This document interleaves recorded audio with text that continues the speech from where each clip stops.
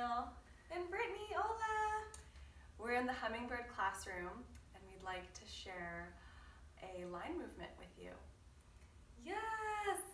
So we are just thinking about you and where you might be while you're watching this video, maybe at your house or maybe you're outdoors. So perhaps you make your own version of a line at home. You can just use a little area, maybe that's already a nice size rug that you know that is a place that you can move safely. Or maybe you and your parents decide you want to make a line at your own house, making an ellipse shape with a piece of tape. Or maybe you just want to use your backyard and choose a spot for the line out there. But for now, we're in here. so our movement today will be a story about Sally. We'll start on the line we'll start by walking.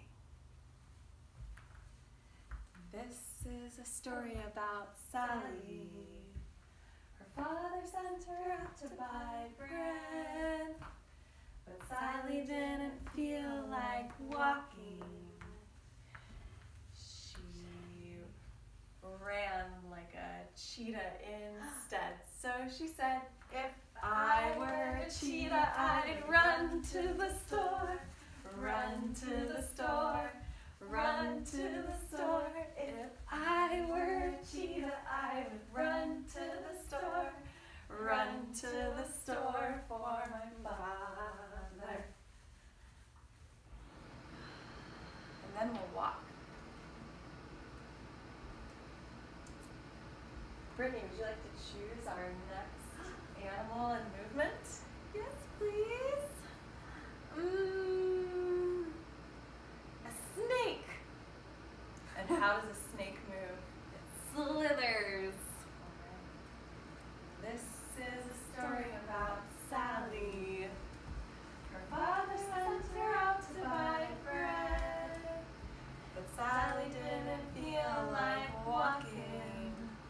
Instead, she slithered to the store like a snake instead. So she said, if I were a snake, I would slither to the store.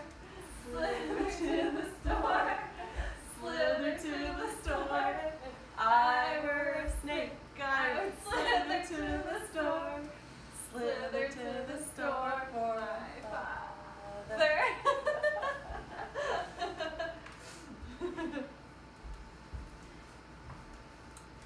Camille, do you want to choose the next one? Sure. How about wander like a wolf. Ooh. This is a story about Sally. Her father sent her out to buy bread. But Sally didn't feel like walking. She wandered like a wolf instead. So she said, if I were a wolf, I would wander to the store. Wander to the